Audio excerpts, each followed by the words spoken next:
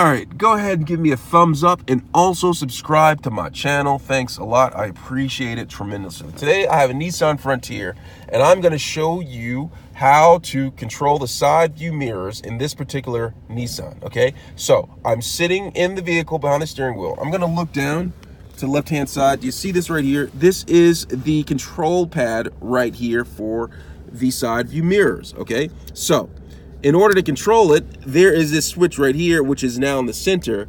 If I want to control the right side or the passenger side view mirror, I go to the right right here. If I want to control the driver's side, I go all the way to right here. And then once I have it over there, I can take this joypad and just control it like that, okay? And then once I get it to the right position on both sides, on, on this side or in that side, I'll take it back to the center to where it originally was, just like that. Give me a thumbs up. Thanks a lot for watching.